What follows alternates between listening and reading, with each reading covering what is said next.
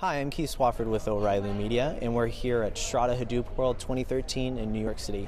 And joining me is Miko Matsumura. How you doing? Hi, doing fine. Good. Um, now, you are the VP of Marketing Developer Relations, correct? Mm-hmm. At um, Hazelcast. Yes, that's right. Correct. Why don't you tell us a little bit about what is it that Hazelcast, what is it that you guys do, what solutions uh, are you guys doing, you guys working with? Yeah, sure. So Hazelcast is the leading open source in-memory data grid product. Now you may ask yourself, what is an in-memory data grid? So one way of looking at it is that we're going to do basically what Hadoop did to the data warehouse Okay. to transactional systems. So an in-memory data grid is basically an interface to lots and lots of RAM. So you could have like 600 nodes and a terabyte of RAM to address, and the question is, is how do you access that? So, so just to give you just a real quick developer eye view.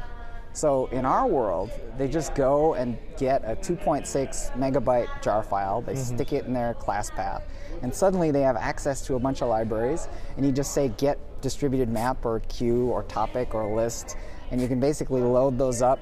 You can talk to them just like they're sitting on a single machine, but of course, now your distributed hash map is sitting on top of like 600 or 800 or however many, machines you have, and you're able to address a huge kind of amount of, of distributed memory. So that, that's basically the, the gist of in-memory data grid.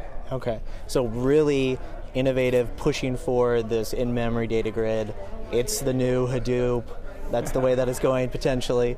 Uh, that's what you guys are all about, which is great. Now, as you guys started developing this solution, what were some of the what are the, some of the problems that you saw there that made you want to create this? Yeah, Um, so there's a lot of kind of really concrete applications. Uh, if you look at one of them, it's things like distributed caching. So this is kind of a pretty known problem, right? Which is that you know you have a bottleneck at the, at the database, right? And so the question is, is how do you get execution happening in a distributed way, but have it be, be really close to the data? So traditionally, this is done using things like stored procedures, but like everyone knows that that's like a total nightmare, and you don't want to go there, right? And so mm-hmm. instead, what about pulling the data up to the application tier? So it, that sounds great. But the thing that gets really crazy when you do that is, is all of a sudden you have concurrency problems because you actually have data coming up to the application tier, and then you have a bunch of different cluster applications all talking to the same data. Mm-hmm. And of course, now suddenly it's like who changed the data and what's the state of the data, and so you're really in a mess, Right. Unless you have something like a data grid that just kind of like seamlessly does at RAM speed Yeah. what you want it to do, you know. So, so that's kind of the, the one of the magic tricks that, that we solve.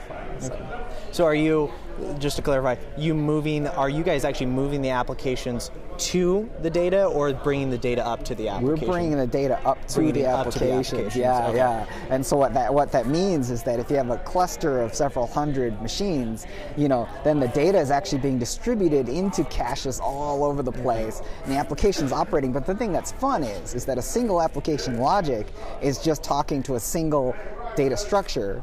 And the grid is kind of magically taking care of all of the kind of like movement of the data. So that's that's kind of the, our secret sauce. Okay, this is secret sauce. I love that. um, now, where do you guys hope to see your guys' uh, where do you hope to see the company in a couple years?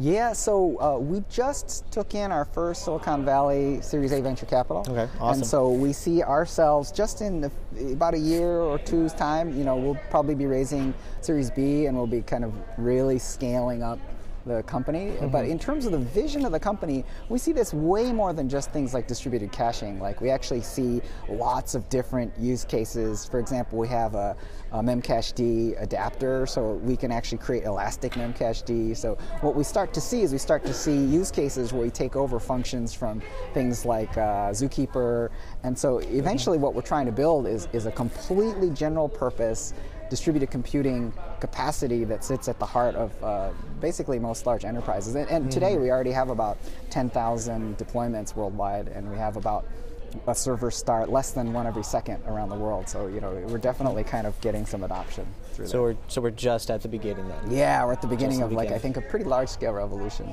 Awesome. Well, Miguel, thanks for your time and best of luck to you. Oh, thank you so much.